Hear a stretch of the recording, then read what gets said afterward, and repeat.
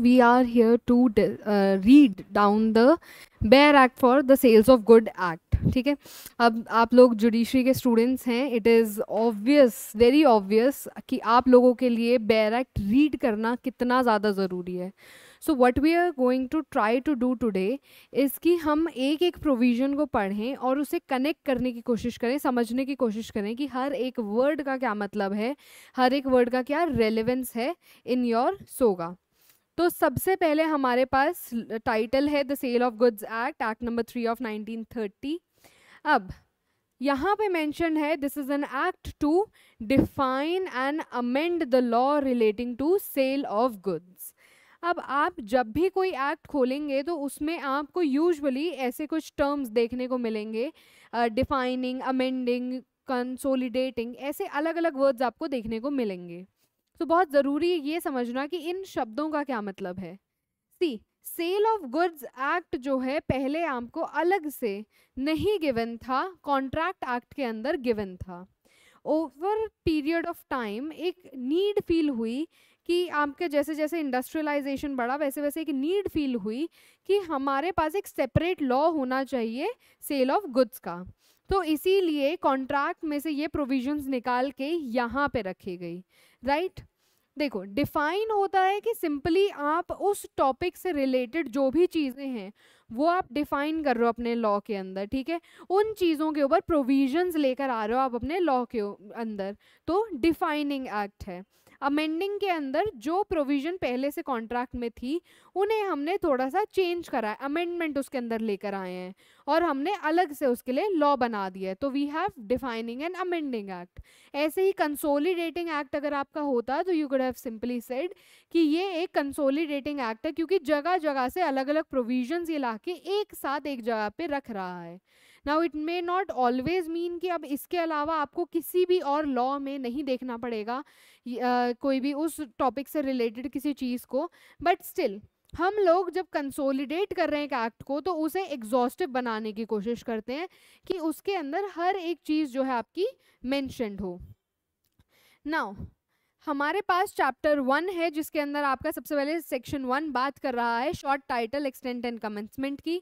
तो this act में be called the sale of goods act 1930 it extends to the whole of India obviously पहले यहाँ पे exceptions थे, जिन्हें रिमूव कर दिया गया है आफ्टर 2019 आपका जम्मू एंड कश्मीर एक एक्सेप्शन था, जो कि आफ्टर 2019 रिमूव हो चुका है। And it shall come into force on first day of July nineteen अब हमारे पास स्टार्ट हो रहा है डेफिनेशन क्लॉज किसी भी एक्ट का डेफिनेशन क्लॉज बहुत ज़्यादा ज़रूरी होता है। Let me zoom it in for you guys बहुत ज़्यादा ज़रूरी होता है किसी भी एक्ट के लिए उसका डेफिनेशन क्लॉज डेफिनेशन क्लॉज के हिसाब से ही हम अपने एक्ट के अंदर जो राइट्स हैं लाइबिलिटीज़ हैं ड्यूटीज़ हैं लिबर्टीज़ हैं वो डिफाइन कर पाते हैं।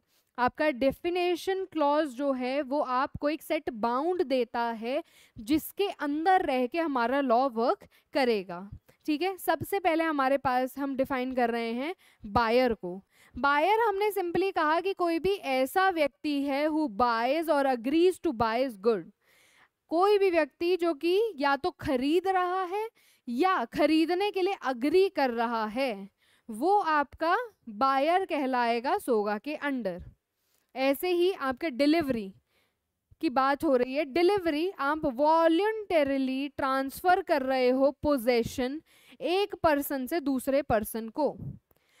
अब यहाँ पे हमने डिलीवरी को एग्जैक्टली exactly डिफाइन नहीं किया। हमने एक बाउंड रखा है डिलीवरी के लिए कि आपकी डिलीवरी क्या होगी। तो हमने कहा कि जहाँ पर भी आप वॉल्यूंटरली अपनी इच्छा से ट्रांसफ़र कर रहे हो, किस चीज़ को पोजेशन को ट्रांसफ़र कर रहे हो, वहाँ पर आपका डिलीवरी हम इसे कहेंगे।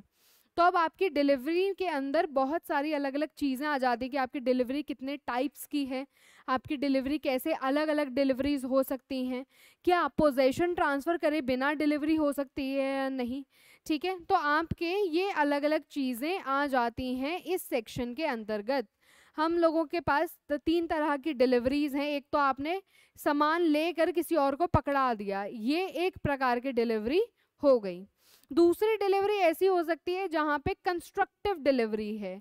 ठीक है? आपने अभी कंस्ट्रक्टिव डिलीवरी करी है। मतलब सामान जो है आपके बायर के हाथ में नहीं आया है but it has been constructed as such की पोजेशन उसके पास है अब। तीसरा हमारे पास है सिंबॉलिक डिलीवरी सिंबॉलिक डिलीवरी के अंदर क्या होता है कि आप अब पूरा का पूरा सामान उठा के किसी को तो दे नहीं सकते हैं। ठीक है तो आप उसका कोई सिंबल देते हैं, कोई चीज़ दिखाने के लिए कि हाँ अब ये चीज़ आपको मिल गई है। If you guys have seen that game of throne so आपने देखा होगा उसमें when the queen was buying all the slaves she got some staff in her hand ठीक है, एक स्टाफ उन्हें मिला था to symbolize that now the goods have been delivered to her. Now the, she is in possession of the goods, ठीक है? ऐसे ही अगर मान लीजिए आप कोई शिप खरीदते हैं, कोई एयरप्लेन खरीदते हैं तो आपको घर पे तो देने आ नहीं सकते वो। तो वहाँ पे आपको एक की दी जाती है, ठीक है? की दी जाएगी उसकी या उसके पेपर्स कुछ दिए जाएँगे। कोई सिंबल दिया जाएगा कि अब ये चीज़ की पोजेशन आपके पास है, जिसे हम सिंबॉलिक डिलीवरी कहते हैं। देन वी से कि आपके कौन से गुड्स हैं जो कि डिलीवरेबल स्टेट के अंदर हैं। डिलीवरेबल स्टेट क्या है? तो हमने कहा डिलीवरेबल स्टेट के अंदर आपके गुड्स तब होते हैं, जब जो बायर है he would under the contract be bound to take delivery of them आपके गुड्स अगर रेडी हैं, आपने वो खरीद लिए, अब बायर जो है अंडर द कॉन्ट्रैक्ट बाउंड है कि वो डिलीवरी ले इन सभी गुड्स की। This is very important that your buyer is bound under this law to take delivery of the goods ठीक है? उन गुड्स को हम डिलीवरेबल स्टेट में मानते हैं। उन गुड्स को हम कहते हैं कि these are in deliverable state then we have the next definition document of title to goods अब ये document of title to goods क्या हुआ?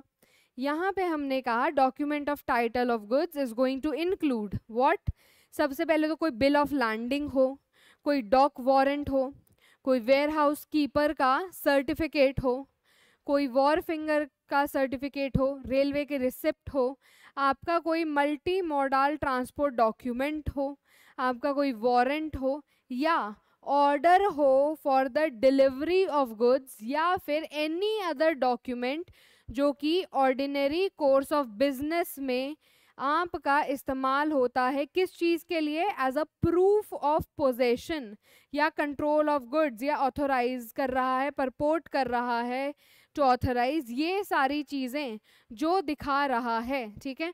कोई भी ऐसा डॉक्यूमेंट जो यहाँ मेंशन नहीं है, पर ऑर्डिनरी कोर्स ऑफ़ बिज़नेस के अंदर वो document is like a proof of possession या फिर proof of control of goods या फिर प्रूफ ऑफ़ अथॉरिटी है आपके पास कि आप जो हैं इन गुड्स के साथ जो चाहे कर सकते हैं, ठीक है? इनको जैसे भी चाहें वैसे रख सकते हैं। इस चीज़ का अगर प्रूफ है तो वहाँ हम कहते हैं कि आपका ऑर्डिनरी कोर्स ऑफ़ बिज़नेस में क्योंकि ये प्रूफ है तो वहाँ पे वो document of title to goods बन जाएगा, ठीक है? Now this can be done either by a endorsement or by actual delivery जहाँ पे पोजेसर ऑफ़ द डॉक्यूमेंट जो है, वो ट्रांसफ़र करेगा या रिसीव करेगा गुड्स जो कि रिप्रेजेंट किए गए हैं। ठीक है? तो दोबारा हम लोग एक बार document of title to goods देखते हैं because it's a lengthy section तो हमने कहा document of title to goods में आपके बिल ऑफ़ लैंडिंग है डॉक वारंट है वेयर हाउस कीपर का सर्टिफिकेट है वॉर फिंगर का सर्टिफिकेट है रेलवे रिसिप्ट है, या कोई मल्टी मॉडल ट्रांसपोर्ट डॉक्यूमेंट है, या कोई वारंट है, या ऑर्डर है, ठीक है डिलीवरी ऑफ़ गुड्स के लिए, या फिर आपका कोई ऐसा डॉक्यूमेंट है जो कि ऑर्डिनरी कोर्स ऑफ़ बिज़नेस में as a proof of possession या proof of control of goods या proof of authorizing or purporting to authorize the goods जो है वो है। और ये चीज़ हम कैसे करते हैं? ये हम करते हैं इधर बाय इंडोर्समेंट और बाय डिलीवरी जहाँ पे पोजेजर ऑफ़ द डॉक्यूमेंट जिसके पास ये डॉक्यूमेंट होता है, जिसके नाम में ये डॉक्यूमेंट होता है, उसे या तो ट्रांसफ़र करना होता है या रिसीव करने होते हैं गुड्स जो कि रिप्रेजेंट किए गए हैं। नेक्स्ट हमारे पास टू क्लॉज फाइव में है fault fault means any wrongful act or default कोई भी अगर आप एक्ट कर रहे हो जो कि गलत है अब यहाँ पे रॉन्गफुल एक्ट क्या होगा? क्या नहीं? उसके लिए आप सोच सकते हैं। एक तो हमारे पास ऑप्शन है कि हम लोग रॉन्गफुल एक्ट क्या हो सकता है उसका एक जनरल मीनिंग देखें। ठीक है? जनरल मीनिंग के साथ साथ एक जो मॉरल uh, वैल्यूज़ के साथ अटैच है वो देख सकते हैं। अदरवाइज़ आपके अगर किसी एक्ट में ये एक्सप्लेन है तो वहाँ पे हम रॉन्गफुल एक्ट देख सकते हैं कि किस तरह का एक्ट आपका रॉन्गफुल एक्ट जो है वो कहलाएगा। तो अगर कोई भी रॉन्गफुल एक्ट किया जाता है या फिर कोई डिफ़ॉल्ट की जाती है तो वहाँ हम कहते हैं कि फॉल्ट है। सिमिलरली हमारे पास टू क्लॉज सिक्स में फ्यूचर गुड्स हैं। फ्यूचर गुड्स ऐसे गुड्स हैं जो आपके डिलीवरेबल स्टेट में नहीं हैं। मीनिंग कि आपका जब एक सेल ऑफ़ गुड्स का कॉन्ट्रैक्ट साइन हो जाएगा तो वहाँ पर उसके बाद आपके वो गुड्स या तो मैन्युफैक्चर होंगे या प्रोड्यूस होंगे या एक्वायर किए जाएँगे बाय द सेलर ठीक है? तो आपका कॉन्ट्रैक्ट ऑफ़ सेल होने के बाद सेलर जो है उन गुड्स को या तो बनाएगा प्रोड्यूस करेगा या फिर एक्वायर करेगा कहीं और से। उन गुड्स को हम फ्यूचर गुड्स कहते हैं। ऐसे ही हमारे पास अब गुड्स की डेफिनेशन है। गुड्स जो हैं, आपके हर तरह की मूवेबल प्रॉपर्टी है। अब ये चीज़ बहुत ज़रूरी है कि सेल ऑफ़ गुड एक्ट के अंदर हम सिर्फ़ मूवेबल प्रॉपर्टी की बात करते हैं। आपकी इमूवेबल प्रॉपर्टी के लिए हमारे पास ट्रांसफ़र ऑफ़ प्रॉपर्टी एक्ट है टीपीए जहाँ पे हम इमूवेबल प्रॉपर्टी की बात कर रहे हैं। जहाँ पर मूवेबल प्रॉपर्टी की सेल की बात है, वहाँ पे हम सोगा के अंदर जाते हैं। तो इमूवेबल प्रॉपर्टी आपकी इसके अंदर नहीं आएगी ओनली मूवेबल प्रॉपर्टी आपकी इसके अंदर आएगी दिस इज़ इंपॉर्टेंट तो कोई भी movable property other than actionable claim and money मतलब एक्शनेबल क्लेम और मनी को हम गुड मान के बेच नहीं सकते हैं सोगा के अंदर। ठीक है? ये चीज़ आपके एक्सेप्शन है गुड्स के। तो आपका एक्शनेबल क्लेम्स और मनी को छोड़ के कोई भी मूवेबल प्रॉपर्टी हो, चाहे वो आपके स्टॉक एंड शेयर्स हो ग्रोइंग क्रॉप्स हो ग्रास हो things attach to or forming part of the land हो, जिन्हें सेल से पहले आपका जो है अग्री किया गया है कि सिवियर कर दिया जाएगा। ठीक है? तो अगेन यहाँ पे हमारे पास स्टॉक्स एंड शेयर्स आपके गुड्स कहलाएँगे सोगा के अंदर आप इन्हें बेच खरीद सकते हैं। दूसरा आपका टीपीए के अंदर भी हमने पढ़ा है कि इमूवेबल प्रॉपर्टी क्या होती है।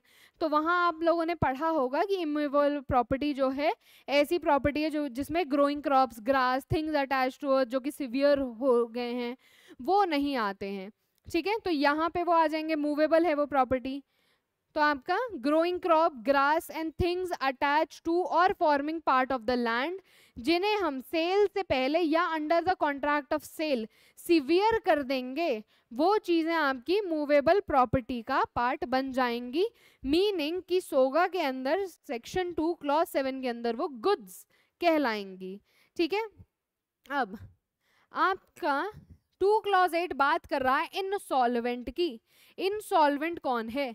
अगर किसी व्यक्ति को कहा गया है कि वो इनसॉल्वेंट है तो वो अपनी डेट्स जो है वो ऑर्डिनरी कोर्स ऑफ़ बिज़नेस के अंदर पे नहीं कर रहा है या नहीं कर सकता है जब वो डेट्स ड्यू हो गई हैं। या उसने जो है आपका कोई एक्ट ऑफ़ इंसॉल्वेंसी चाहे करा हो, चाहे ना करा हो, ठीक है? आपकी जो भी डेट्स हैं, वो आपने पे करना बंद कर दी हैं ऑर्डिनरी कोर्स ऑफ़ बिज़नेस के अंदर। या फिर आप पे नहीं कर पाओगे जब वो ड्यू होंगी। तो दो चीज़ें हैं, एक तो है कि अभी आपने पे करना बंद कर दिया। ऑर्डिनरी कोर्स ऑफ़ बिज़नेस में आपने डेट्स अपने जो भी कर्ज थे, वो उनके लिए पेमेंट करना बंद कर दी है। या फिर आपने अभी बंद नहीं करी है बट जब वो डेट ड्यू होगी, अभी ड्यू नहीं हुई है, जब ड्यू होगी, तब आप पे नहीं कर पाओगे। तो ऐसे व्यक्ति को हम इनसॉल्वेंट कहते हैं, चाहे उसने कोई एक्ट ऑफ़ इंसॉल्वेंसी करा हो या ना करा हो। फिर हमारे पास आ जाता है टू क्लॉज नाइन के अंदर मर्केंटाइल एजेंट। मर्केंटाइल एजेंट जो है ऐसा व्यक्ति है जिसे कस्टमरी कोर्स ऑफ़ बिज़नेस के अंदर, अभी तक हमने कोर्स ऑफ़ बिज़नेस पढ़ा था, कस्टमरी कोर्स ऑफ़ बिज़नेस के अंदर ऐसा एजेंट जिसे अथॉरिटी है किस चीज़ की? या तो वो गुड्स को बेच सकता है, या उसे कंसाइन कर सकता है for the purpose of sale या गुड्स को खरीद सकता है, या फिर मनी रेज कर सकता है on the security of goods ठीक है? तो मर्केंटाइल एजेंट जो है वो कस्टमरी कोर्स ऑफ़ बिज़नेस के अंदर, यहाँ पे आपका एक कस्टम की तरह ये चीज़ होती आ रही है। कस्टमरी कोर्स ऑफ़ बिज़नेस आपका ये इंपॉर्टेंट है। कस्टमरी कोर्स ऑफ़ बिज़नेस के अंदर उसके पास अथॉरिटी है। किस चीज़ की? गुड्स या तो वो बेच दे या कंसाइन कर दे बेचने के लिए या वो गुड्स खरीद ले, ठीक है? या फिर वो इन गुड्स के ऊपर मनी जो है रेज करे सिक्योरिटी ऑफ़ द गुड्स के ऊपर मनी रेज करे। इसे हम कहेंगे ऐसा व्यक्ति जो ये चार में से कोई एक्शन कर रहा है, ऐसे व्यक्ति को हम कहेंगे कि वो एक मर्केंटाइल एजेंट है। नेक्स्ट हमारे पास टू क्लास टेन में प्राइस की डेफिनेशन है which is any money consideration for sale of goods अब यहाँ पे हमने सिंपली कंसिडरेशन नहीं बोला है अदरवाइज़ हमें कॉन्ट्रैक्ट एक्ट का कंसिडरेशन देखना होता। यहाँ पे हमने स्पेसिफिकली मनी कंसिडरेशन बोला है। Whenever we are going to be confused about this word consideration जब भी हमारे पास कोई ऐसा सिचुएशन आएगा जहाँ पे हम समझ नहीं पा रहे हैं कि is it a consideration or not वहाँ पे हम लोग कॉन्ट्रैक्ट एक्ट के अंदर देख सकते हैं is it following under the definition of consideration and it has to be necessarily a money consideration ताकि हम कह सकें कि सेल ऑफ़ गुड्स एक्ट के अंदर ये प्राइज है। नेक्स्ट डेफिनेशन है हमारे पास प्रॉपर्टी अब प्रॉपर्टी क्या होती है? तो प्रॉपर्टी में हमने देखा कि कोई भी जनरल प्रॉपर्टी है इन गुड्स और मियरली कोई स्पेशल प्रॉपर्टी नहीं है. Again a very vague definition property आपकी कोई भी जनरल प्रॉपर्टी इन गुड्स है और कोई स्पेशल प्रॉपर्टी नहीं है. क्वालिटी ऑफ़ गुड्स की बात करें तो उनकी स्टेट क्या है? कंडीशन क्या है? उसे हम क्वालिटी बोलते हैं. लेट्स से आपने चीनी खरीदी. और वो चीनी जब आपको मिली तो वो पानी में पूरी भीगी हुई थी तो उसकी स्टेट उसकी कंडीशन सही नहीं है, ठीक है? वो आपके किसी काम की नहीं है, वो पानी से पूरी भीगी हुई है तो वो लूज भी हो रहा है आपका। अगर लेट्स किसी बोरी के अंदर था, वहाँ पर भी एब्जॉर्ब हो रहा है, बह रहा है। तो यहाँ पे स्टेट और कंडीशन सही नहीं है मेरे गुड की तो मैं कहूँगी क्वालिटी जो है वो सही नहीं है। हर बार क्वालिटी का मतलब ये नहीं होगा कि वो प्योर है, नहीं है, ठीक है? ये ही क्वालिटी नहीं मानी जाएगी। आपके गुड्स किस कंडीशन में है, किस स्टेट में आपको मिल रहे हैं, वो भी क्वालिटी ऑफ़ गुड्स ही माना जाएगा। नेक्स्ट वी हैव सेलर कौन है? Now seller just like buyer की क्या डेफिनेशन थी? जो बाय कर रहा है या अग्री कर रहा है टू बाय ऐसे ही सेलर जो है वो या तो बेचने के लिए अग्री बेच रहा है या फिर बेचने के लिए अग्री कर रहा है that is your seller under two clause thirteen then we have two clause fourteen जो कि बात कर रहा है स्पेसिफाइड गुड्स की। अब स्पेसिफाइड गुड्स क्या हैं? स्पेसिफाइड गुड्स आपके ऐसे गुड्स हैं जो कि आइडेंटिफाइड हैं और कॉन्ट्रैक्ट ऑफ़ सेल के टाइम पर अग्रीड अपॉन है। ठीक है? उन गुड्स को हम स्पेसिफिक गुड्स कहते हैं। जब हमारा कॉन्ट्रैक्ट ऑफ़ सेल हो रहा था तो मैंने कहा कि ये चीनी 10 किलो मुझे चाहिए, या ये आटा 20 किलो मुझे चाहिए, ये चावल 10 किलो मुझे चाहिए। ये गुड्स आइडेंटिफाइड भी हैं और अग्रीड अपॉन है at the time of contract of sale इसीलिए हम कहेंगे कि ये स्पेसिफाइड गुड्स आपके हैं। अब टू क्लॉज फिफ्टीन कह रहा है, जब भी इस एक्ट के अंदर कोई भी ऐसा वर्ड यूज़ होगा जो कि इस एक्ट के अंदर डिफाइंड नहीं है। तो वहाँ पर हम इंडियन कॉन्ट्रैक्ट एक्ट 1872 को देखेंगे टू नो कि उस वर्ड का क्या मीनिंग है। हम कॉन्ट्रैक्ट एक्ट देखेंगे आईसीए देखेंगे, to see the meaning attach to or assigned to this word. तो this is what your two clause fifteen is saying. Then we have section three, जो कि बात कर रहा है, application of provisions of act nine of 1872 तो यहाँ पे कहा गया है कि जो भी अनरिपील्ड प्रोविजंस हैं आईसीए की, अगर वो इनकंसिस्टेंट नहीं है इस एक्ट के साथ तो अप्लाई करेंगी। आपकी आईसीए की कोई प्रोविज़न अगर सोगा के साथ इनकन्सिस्टेंट नहीं है, सोगा की किसी प्रोविज़न को ओवर रूल नहीं कर रही है तो वहाँ पे ये प्रोविज़न अप्लाई करेगी। नाउ हियर समहाव एक ऐसी सिचुएशन बन रही है जहाँ पे आईसीए आपका एक जनरल जो है एक, जो है जेनरिक एक्ट बन गया है और सोगा एक स्पेशल एक्ट बन गया है। तो वी ऑलरेडी नो कि किसी भी जनरल एक्ट के ऊपर स्पेशल एक्ट जो है वो प्रिवेल करता है। सिमिलरली सोगा जो है आईसीए की प्रोविजंस के ऊपर प्रिवेल करेगा और जहाँ पे ये प्रोविजंस इनकंसिस्टेंट नहीं है we will harmoniously construct these provisions of both these acts अब बात करते हैं हम चैप्टर टू की। Chapter two is talking about formation of the contract तो अब कॉन्ट्रैक्ट ऑफ़ सेल क्या है? तो आपका सेक्शन फोर बात कर रहा है sale and agreement to sale की। दोनों के बीच में डिफरेंस क्या है? सेल और अग्रीमेंट टू सेल आपका।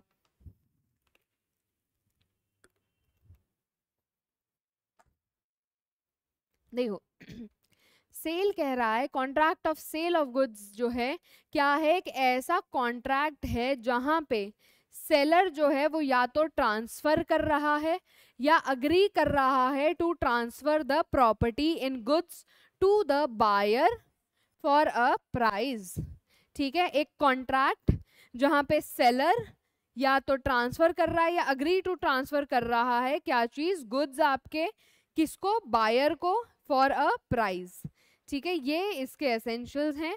There may be a contract of sale between one part owner and other अब ये एक एक्स्ट्रा प्रोविज़न है यहाँ पे कि मान लीजिए कि एक बिज़नेस के अंदर दो लोग हैं ए एंड बी ठीक है, दोनों पार्टनर्स हैं और सी जो है वो पार्ट ओनर मतलब सिर्फ़ बी के साथ अगर कॉन्ट्रैक्ट कर लेता है सेल ऑफ़ गुड का तो वो भी आपका वैलिड एक कॉन्ट्रैक्ट होगा अंडर सोगा पार्ट ओनर के साथ भी आप कर सकते हो ये कॉन्ट्रैक्ट तो आपका again sale and agreement to sale के अंदर क्लॉज वन कह रहा है, कोई भी आपका अगर कॉन्ट्रैक्ट है जहाँ पे सेलर आपका ट्रांसफ़र कर रहा है या अग्री टू ट्रांसफ़र कर रहा है प्रॉपर्टी इन जो आपकी जो भी प्रॉपर्टी है उसको अग्री टू सेल कर रहा है या फिर सॉरी ट्रांसफ़र कर रहा है या अग्री टू ट्रांसफ़र कर रहा है बायर को फॉर अ प्राइस तो कॉन्ट्रैक्ट है सेलर बेच रहा है किसको? बायर को फॉर अ प्राइस ये तीन इसके असेंशियल्स हैं इस सेक्शन के। सेकेंड क्लॉज कह रहा है कॉन्ट्रैक्ट ऑफ़ सेल जो है वो या तो एब्सोल्यूट हो सकता है या कंडीशनल हो सकता है। अब आपके एब्सोल्यूट कॉन्ट्रैक्ट जो है वो नॉर्मल आपका जो गुड्स को खरीदने बेचने के लिए कॉन्ट्रैक्ट होगा वो आपका आ, वो आपका एक जहाँ sorry I just got stumped okay contract of sale आपका या तो एब्सोल्यूट हो सकता है या कंडीशनल हो सकता है। इसके अंदर हमारे पास है कि अगर आपका ऐसा कॉन्ट्रैक्ट है जहाँ पर एब्सोल्यूट टर्म्स के अंदर लिखा हुआ है कि सो एंड सो होगा मतलब सेलर जो है सो एंड सो चीज़ बेचेगा बायर को फॉर दिस प्राइस ये आपका एब्सोल्यूट कॉन्ट्रैक्ट है राइट यहाँ पर एब्सोल्यूट टर्म्स आपकी लिखी हुई हैं। कंडीशनल कॉन्ट्रैक्ट के अंदर कुछ कंडीशन होती हैं, जो आपको सेल ऑफ़ गुड जो है कंप्लीट होने से पहले या उसके बाद पूरी करनी होती हैं। अगर आप ये कंडीशन नहीं फुलफिल करते तो आपका कॉन्ट्रैक्ट जो है वो नहीं होगा अदरवाइज़ आप अगर कंडीशन फुलफिल कर देते हो तो वो आपका हो जाएगा। कंटेंजेंट है ये on the condition mentioned in the contract clause three हमारा कह रहा है कि where under a contract of sale of the property in the goods is transferred from the seller to the buyer आपका कॉन्ट्रैक्ट ऑफ़ सेल के अंदर आपकी जो प्रॉपर्टी है गुड्स जो हैं वो ट्रांसफ़र हो रहे हैं from the seller to the buyer the contract is called sale ठीक है? आपका कॉन्ट्रैक्ट हुआ प्रॉपर्टी ट्रांसफ़र की गई from seller to the buyer sale हो गया है। बट जहाँ पे आपका ट्रांसफ़र जो है, वो आपका फ्यूचर में कभी टेक प्लेस होगा फ्यूचर में होगा या फिर कोई कंडीशन फुलफिल करने के बाद होगा तो वहाँ पे हम कहते हैं कि ये है अग्रीमेंट टू सेल दोनों के बीच में डिफरेंस बस इतना सा है कि अगर आपका कॉन्ट्रैक्ट के अंदर ट्रांसफ़र हो गए गुड्स अभी तो सेल हो गई है। पर अगर ट्रांसफ़र फ्यूचर में आप कभी करोगे, मान लो फ्यूचर गुड्स हैं फ्यूचर में कभी ट्रांसफ़र करोगे या कंडीशनल कॉन्ट्रैक्ट है किसी कंडीशन के फुलफिल होने के बाद आप ट्रांसफ़र करोगे गुड्स तो वहाँ पे हम कहेंगे कि ये जो है आपका अग्रीमेंट टू सेल है। अग, कोई भी अग्रीमेंट जो है अग्रीमेंट टू सेल वो सेल तब बनता है जब टाइम आपका इलाप्स कर जाता है या कंडीशंस जो हैं वो फुलफिल हो जाती हैं सब्जेक्ट टू विच जो प्रॉपर्टी है वो आपकी ट्रांसफ़र हो जाती है। अग्रीमेंट टू सेल सिंपली आपका जो है सेल बन जाएगा, जब आपके गुड्स जो हैं वो अब जो है मैन्युफैक्चर हो गए, जो भी टाइम गिवन था कि इतने टाइम में करना है, वो लैप्स कर गया है या फिर जो कंडीशन लिखी थी कि आपको ये करना पड़ेगा, उसके बाद सेल होगी तो वो कंडीशन फुलफिल हो गई है तो अब आपका अग्रीमेंट टू सेल जो है वो सेल बन जाएगा। नेक्स्ट हमारे पास है सेक्शन फाइव जो कि बात कर रहा है फॉर्मेलिटीज ऑफ़ द कॉन्ट्रैक्ट की। फॉर्मेलिटीज ऑफ़ द कॉन्ट्रैक्ट के अंदर हमारे पास है कि कॉन्ट्रैक्ट ऑफ़ सेल जो है वो कैसे होगा आपका किसी भी नॉर्मल कॉन्ट्रैक्ट की तरह। आपका एक ऑफ़र होगा to buy or sell the goods ठीक है? ऑफ़र आपका बायर भी दे सकता है सेलर भी दे सकता है। ऑफ़र होगा to buy the goods or to sell the goods at a certain price और उस ऑफ़र का, अगर बाय करने का ऑफ़र है तो सेलर उसको एक्सेप्टेंस देगा और अगर सेल करने का ऑफ़र है तो बायर उसको एक्सेप्टेंस देगा। तो आपका ऑफ़र होगा किसी प्राइस कंसिड्रेशन के लिए, मनी कंसिड्रेशन के लिए और उसका एक्सेप्टेंस होगा। जैसे आपका नॉर्मल कोई भी कॉन्ट्रैक्ट होता है आईसीए के अंदर वैसे ही ऑफ़र, एक्सेप्टेंस, कंसिड्रेशन यहाँ पे हम देखेंगे। जो कॉन्ट्रैक्ट है, उसके अंदर प्रोवाइड हो सकता है कि इमीडिएट डिलीवरी होगी गुड्स की या फिर आपका इमीडिएट पेमेंट होगा प्राइस का या फिर दोनों होंगे या फिर डिलीवरी या पेमेंट होगी इंस्टॉलमेंट्स के अंदर, या आपका डिलीवरी या पेमेंट या दोनों ही पोस्टपोन होंगे। ठीक है? क्या क्या देखा हमने? कॉन्ट्रैक्ट के अंदर या तो आप बोल सकते हो कि अभी के अभी आपको गुड्स डिलीवर करने हैं। लेट्स से हमने कहा 50 के जी राइस जो है वो वन थाउज़ेंड रुपीज़ के लिए दी जाएगी। ठीक है? अब यहाँ पे लेट से सेलर ने ऑफ़र दिया 50 K G rice one thousand rupees के लिए। आपके बायर ने इसको एक्सेप्ट कर लिया ठीक है? आपका ऑफ़र हो गया एक्सेप्टेंस हो गया आपका प्राइस भी हो गया। अब या तो आप कह सकते हो कि अभी के अभी 50 किलो चावल आप डिलीवर करके जाओ या फिर आप कह सकते हो कि अभी के अभी हज़ार रुपए तुम डिलीवर करो उसके बाद में चावल भेजता हूँ। या फिर आप दोनों ही एक साथ करो ठीक है? दोनों ही आप एक साथ करने के लिए भी कह सकते हो कि आप पचास किलो चावल दो और मैं लगे हाथ आपको एक हाथ दे एक हाथ ले काइंड kind ऑफ़ of, आपको पैसे दे देता हूँ। या फिर डिलीवरी या फिर पेमेंट, पचास किलो चावल की डिलीवरी या हज़ार रुपये की पेमेंट इंस्टॉलमेंट में हो सकती है कि मैं एक एक किलो करके या दस दस किलो करके चावल आपको दूँगा तो दस किलो के हिसाब से आप जो है मुझे दो सौ दो सौ रुपये करके दे दीजिएगा पैसे। तो इंस्टॉलमेंट के अंदर भी आपकी हो सकती है डिलीवरी या पेमेंट। या फिर हम ये कह सकते हैं कि डिलीवरी या पेमेंट या दोनों ही पोस्टपोन हो सकते हैं। ठीक है? तो यहाँ पे हमारे पास ये कुछ अलग अलग तरीके हैं जिनसे कॉन्ट्रैक्ट ऑफ़ सेल किया जा सकता है। Now subject to the provisions of any law for the time being in force आपका कॉन्ट्रैक्ट ऑफ़ सेल जो है, वो आपका या तो राइटिंग में हो सकता है अगेन रिटर्न हो सकता है वर्ड ऑफ़ माउथ से हो सकता है partly return partly word of mouth हो सकता है, या फिर इम्प्लाइड हो सकता है from conduct of the parties ठीक है, यहाँ पर ज़रूरी है आपके पास कि कंडक्ट कैसा होना चाहिए। ऑर्डिनरी कोर्स ऑफ़ बिज़नेस में अगर आप एक व्यक्ति से हर महीने 50 केजी चावल एक हज़ार रुपये के लिए ले रहे थे, कहीं पर भी आपने अपने कंडक्ट से ऐसा नहीं जताया कि अब आप नहीं लोगे तो वहाँ पे हम कह सकते हैं कि एक इम्प्लाइड कॉन्ट्रैक्ट जो है आप दोनों के बीच में था। प्रॉपर रिटर्न भी हो सकता है, सिर्फ़ हमने आपस में बातचीत करी, उससे भी हो सकता है। थोड़ा आधा हमने लिख दिया है, आधा जो है हमारा वर्ड ऑफ़ माउथ से चलता है, जैसे लेट से हमने कॉन्ट्रैक्ट में लिख दिया कि हर महीने मैं आपसे जो है इतना किलो चावल लिया करूँगा बट वर्ड ऑफ़ माउथ से आप उसे नोवेट कर रहे हो या उसके अंदर और कोई कंडीशन लगा रहे हो कि हमने लिखा है fifty K G rice for one thousand rupees पर वर्ड ऑफ़ माउथ से हमने कहा पार्टली पेमेंट्स कर देना।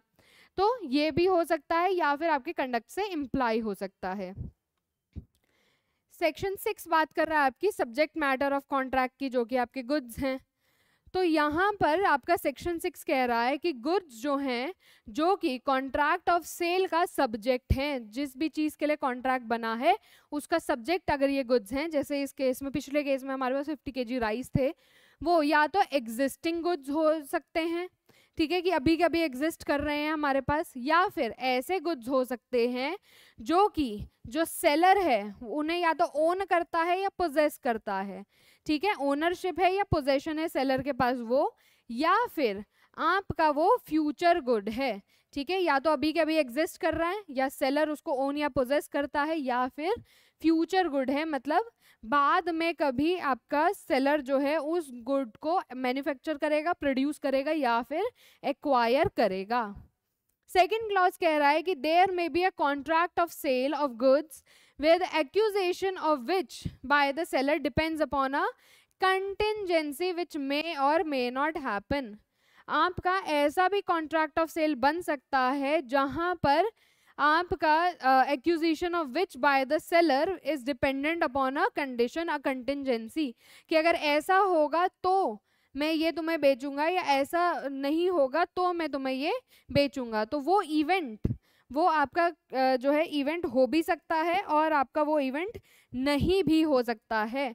तो it's a contingency third clause कह रहा है आपका जो कॉन्ट्रैक्ट ऑफ़ सेल है जो कि सेलर परपोर्ट कर रहा है टू द इफ़ेक्ट जहाँ पे प्रेजेंट सेल है फ्यूचर गुड्स की, वहाँ पे contract operates as an agreement to sell the goods मतलब आपने कॉन्ट्रैक्ट ऑफ़ सेल करा है सेलर के साथ। अब जो गुड्स हैं प्रेजेंट में हो रही है सेल किसकी? फ्यूचर गुड्स की। लेट्स से आपने खेत में चावल उगा रहे हैं, आप कह रहे हैं कि दो हफ़्ते बाद ये चावल काटे जाएँगे। तो आप अगर अभी सेल कर रहे हो फ्यूचर गुड्स की, कि फ्यूचर में वो जो है, आपके प्रोड्यूस होंगे तो उन गुड्स की जब प्रेजेंट सेल आप कर रहे हो तो आपका जो कॉन्ट्रैक्ट है it will operate as an agreement to sell the goods ठीक है? सेल की तरह ऑपरेट नहीं करेगा अग्रीमेंट टू सेल की तरह ऑपरेट करेगा, क्योंकि ये आपके कैसे गुड्स हैं? फ्यूचर गुड्स हैं, ठीक है? नेक्स्ट हमारे पास है सेक्शन सेवन जो कि बात कर रहा है कि अगर जो आपके गुड्स हैं, वो कॉन्ट्रैक्ट बनने से पहले ही पेरिश हो जाते हैं। अब आप मान लीजिए जिन पचास किलो चावल के लिए, गुड्स के लिए आप बात कर रहे हैं कि हम इनका कॉन्ट्रैक्ट करेंगे, कॉन्ट्रैक्ट साइन करने से पहले ही वो चावल जिस लॉरी में थे, वो खाई में गिर जाती है या जिस वेयर हाउस में थे, वहाँ आग लग जाती है। बेसिकली जो गुड्स हैं, वो डिस्ट्रॉय हो गए हैं, वो गुड्स पेरिश हो गए हैं। अब यहाँ पर जो आपका कॉन्ट्रैक्ट ऑफ़ सेल था, इस स्पेसिफिक गुड के लिए, अगर वो गुड ही डिस्ट्रॉय हो गया है बिफोर मेकिंग द कॉन्ट्रैक्ट तो वो कॉन्ट्रैक्ट आपका वॉइड होता है। ठीक है? अब यहाँ पे अगर सेलर को नॉलेज नहीं है सेलर की नॉलेज के बिना ये हो गया तो वो कॉन्ट्रैक्ट आपका वॉइड होता है। ठीक है? जब कॉन्ट्रैक्ट हो रहा था, उस समय से पहले अगर वो हो गए पेरिश या ऐसे डैमेज हो गए कि अब उन्हें हम बोल ही नहीं सकते कि ये वो ओरिजिनल गुड हैं। आपका कच्चा चावल आग में जल गया, हमारे पास जो बचा उसे हम चावल कह ही नहीं सकते हैं। तो उस केस में कॉन्ट्रैक्ट आपका क्या हो जाता है? वॉइड हो जाता है। ठीक है, वो कॉन्ट्रैक्ट आपका एग्जिस्ट नहीं करता है। अब, आपका जब सब्जेक्ट मैटर जो है कॉन्ट्रैक्ट का wait what happened okay okay, आपका जो सब्जेक्ट मैटर जो है कॉन्ट्रैक्ट का वो ही नहीं है। वो आपका ऑब्जेक्ट एग्जिस्ट ही नहीं करता है। आपका जिस समय कॉन्ट्रैक्ट हो रहा था हमारे सेलर को पता ही नहीं था कि वो गुड अब एग्जिस्ट नहीं करता है। तो वो कॉन्ट्रैक्ट आपका कभी फॉर्म हो ही नहीं सकता था तो इट इज़ वॉइड सेकेंड हमारे पास यहाँ पे सेक्शन एट के अंदर बात हो रही है कि गुड्स आपके सेल से पहले पेरिश हो गए पर एग्रीमेंट ऑफ़ सेल आपका हो गया था। हमारा एग्रीमेंट टू सेल आपका बन गया था, पर सेल अभी हुई नहीं थी। एग्रीमेंट टू सेल में सेल कैसे बनता है? जब आपका जो भी कंटिजेंसी थी या गुड्स थे, वो आपके जब सेल की तरह ट्रांसफ़र हो जाते, तब हम कहते हैं सेल हो गई। तो ट्रांसफ़र नहीं हुआ है, पर अग्रीमेंट टू सेल हो गया था। जहाँ पर भी अग्रीमेंट टू सेल है, किसी स्पेसिफिक गुड का, और अग्रीमेंट टू सेल करने के बाद आपके goods without any fault on the part of seller या बायर बायर या सेलर की बिना किसी गलती के लेट्स अगेन 50 किलो चावल के लिए अग्रीमेंट टू सेल था। आपका वो अग्रीमेंट टू सेल खेत में आग लग जाती है, ओले गिर जाते हैं, पूरी फ़सल जो है बर्बाद हो गई है। अग्रीमेंट टू सेल हो गया था, पर सेल नहीं हुआ है ट्रांसफ़र नहीं हुए थे गुड्स यहाँ पर कोई फॉल्ट नहीं है सेलर या बायर की ऑब्वियसली ओले अगर गिरे, बरसात बहुत होगी, कोई हमारी फॉल्ट नहीं है। यहाँ पे अगर आपके गुड्स पेरिश करते हैं या डैमेज होते हैं तो आपका अग्रीमेंट जो है वो अवॉइड हो जाता है। ठीक है? आपका यहाँ पर बायर के ऊपर कोई रिस्क नहीं आता। यूजुअली जब आपका सेल हो जाती है, आपकी सेल होने के बाद मान लीजिए आपके हाथ में अभी सामान नहीं आया है। सेलर ने कहा, मैं अपने घर से लॉरी भेज रहा हूँ तुम्हारे घर पे सामान भेजने के लिए। सेल हो गया है। यहाँ पर अगर लॉरी में कुछ दिक्कत हो जाती है, सामान बायर तक पहुँचने से पहले वो ख़त्म हो जाता है, पेरिश हो जाता है, ख़राब हो जाता है तो हम कहते हैं कि बायर की कंप्लीट लाइबिलिटी है सेलर की कोई लाइबिलिटी नहीं है। बट आपका इस केस के अंदर जहाँ पे अग्रीमेंट टू सेल हुआ है, पर सेल नहीं हुई है, और सेलर या बायर दोनों की ही गलती नहीं है बट आपके गुड्स जो हैं डैमेज हो गए हैं पेरिश हो गए हैं तो वहाँ पे अग्रीमेंट जो है आपका अवॉइड हो जाता है। ठीक है, वो एग्रीमेंट को आप एनफोर्स नहीं करवा सकते। फ्रस्ट्रेशन ऑफ़ कॉन्ट्रैक्ट की डॉक्ट्रीन के अंदर ये अवॉइड हो जाता है। Now we have enough time to discuss section nine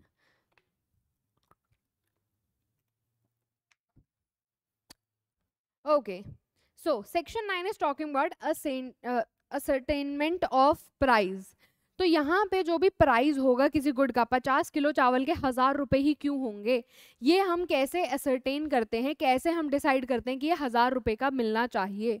तो यहाँ पे जो भी प्राइस होता है आपका कॉन्ट्रैक्ट ऑफ़ सेल के अंदर, वो या तो कॉन्ट्रैक्ट में फिक्स कर दिया जाता है, ठीक है?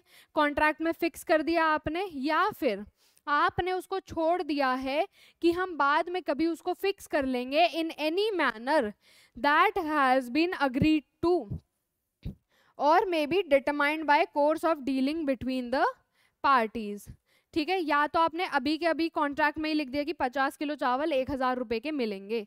या फिर आप कह सकते हो कि हम बाद में डिसाइड कर लेंगे, चावल देखने के बाद क्वालिटी देखने के बाद, ये सब देखने के बाद हम बाद में डिसाइड कर लेंगे, बाद में अग्री कर लेंगे। या फिर हम उन्हें डिटरमाइन करेंगे by the course of dealing between the parties दोनों पार्टीज़ के बीच में कैसी डीलिंग है, कैसा रिलेशनशिप है, कैसा कंडक्ट है उनका, उसके हिसाब से हम डिटरमाइन कर लेंगे। जहाँ पे प्राइस आपका डिटरमाइन नहीं होता in accordance with the foregoing provisions इस प्रोविज़न के हिसाब से अगर प्राइस डिटरमाइन नहीं हुआ है तो बायर जो है वो सेलर को एक रीजनेबल प्राइस पे करता है। उन गुड्स का जो भी एवरेज प्राइस है मार्केट में लेट से 50 केजी राइस का, उस क्वालिटी का, उस राइस का, उस ब्रांड के राइस का market rate nine fifty rupees है या वन थाउज़ेंड फिफ्टी रुपीज़ है तो जो भी रीजनेबल एक प्राइस होगा, जो मार्केट प्राइस आपका होगा, वो जो है मिल जाएगा यहाँ पे। अब रीजनेबल प्राइस क्या है? Reasonable price is a question of fact question of fact है जो कि डिपेंडेंट है on the circumstances of each and every case her case में किस तरह का चावल है, किस ब्रांड का है वो चावल, वो कहाँ उगाया गया है, क्या मार्केट रेट क्या है उस चावल का। ठीक है, इन सब अलग अलग चीज़ों के ऊपर डिपेंड करता है आपका क्या होगा आपका reasonable price so this is how you certain price of any goods so we are done with today's class Thank you so much for attending the class. You may leave now.